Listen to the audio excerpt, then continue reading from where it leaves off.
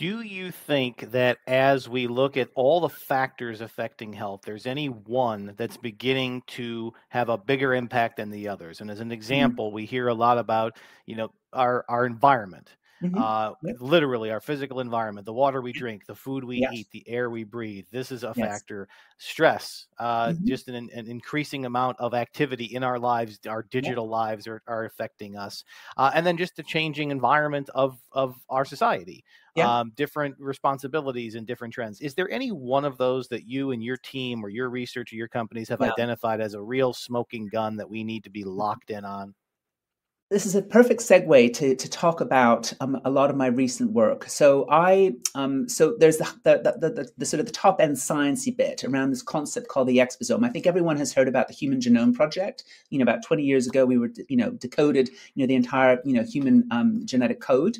Um, we are now moving to this, um, you know, we've got um, the Human Exposome Project, which really needs to be done, which is very much around how do human beings flourish or not in their wider environment. So this everything to do with the air that we're breathing, the food that we're eating, the green spaces that we're exposed to, air pollution or not, smoking, um, stress. You mentioned stress, our ability to withstand stress in our lives, and that could be anything to do with um, you know, bad nutrition, um, or it could be financial worries, poverty. You know, all these stresses. Human beings are have have um, more or less uh, resilience to these stresses than others. So there's a huge variation. So um, uh, the, the, frontier science is is really focused on that sort of what is happening at a human level for us to withstand stresses or not. Um, so and it varies hugely across life course. It varies hugely across individuals, and so that's like the the next frontier I, in terms of understanding health. That whole concept around resilience.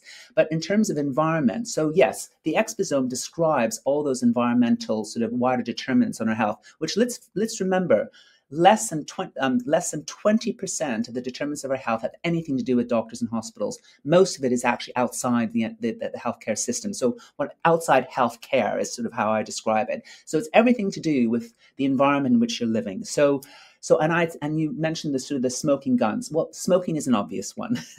if you I mean smoking is the biggest killer by far, and it still is. And actually it's very, very linked to this um, concept around um, uh, the gap in healthy life expectancy between rich and poor. It tends to be more deprived groups that tend to smoke more. So they're most affected. And in fact, if you cut out smoking in one swoop, you cut out this gap between years lived in good health, which is at the moment over 20 years in the UK, you would cut that in half. So that's like massive, right? But air pollution is is also huge. But actually, the one thing I think the other two factors, which are really, really important, because these are very sort of more more within our control, but not necessarily so, because these choices are very influenced by our government, uh, sorry, our, our, environment and the choices that we make, um, both subconsciously and, and consciously, are to do with our diet and, and levels of exercise. So. I would say that one of the big industries um, that we really have to be looking to to do better as a responsible industry is the food industry because we eat far too much ultra high processed food, far too much junk food, which tends to be cheap. So, of course, the poorer you are, the more you tend to eat these foods. So, and this is actually the, the driver between uh, the driver behind the obesity epidemic, which has reached crises proportions in the UK, and I know is as serious, if not more serious, in the US.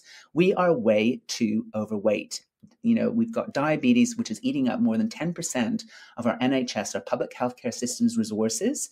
This is largely lifestyle driven, not, not diabetes 1, of course, but diabetes 2. This is largely preventable.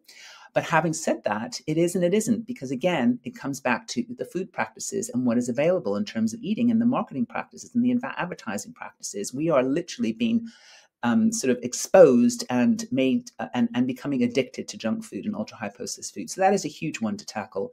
The other thing is around inactivity. And again, I'm afraid we lead these lives of convenience and ever more so. It's like a so called good thing, the less you have to do. You can sit on your sofa, order everything that you want from Amazon, you know, Uber Eats and whatever. This is considered a good thing. Well, actually, this life of convenience is killing us because we're not moving around, we're not embedding normal day to day exercise, you know, that we used to do.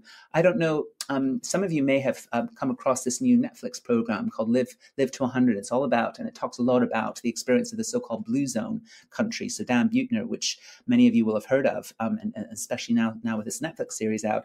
So he's traveling. He travels around the the, the blue zone countries and, and cities and finds out well what are they doing that that keeps them going. Many of them living more to there are more and more um, you know people living to to over 100 in these areas and why and it's actually linked to very simple things that your grandmother used to tell you it's like eat really good healthy food eat your greens um, get your exercise, get your fresh air, see your friends, um, do something that you love, and it's all very much bound in communities and um, and social connections and feeling that you're part of, of a community, part of something, and having a sense of purpose.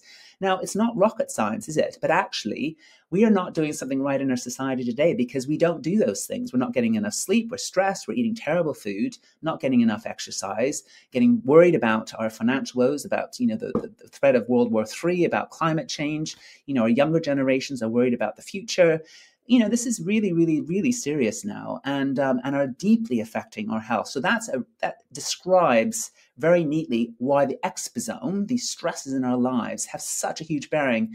And what I find more fascinating as a scientist and wearing my science hat um, is that the science is actually showing this, the data that is coming out, showing the, the, the, the link between our behavior and our psychology and our state of mind is actually fundamentally affecting our biology.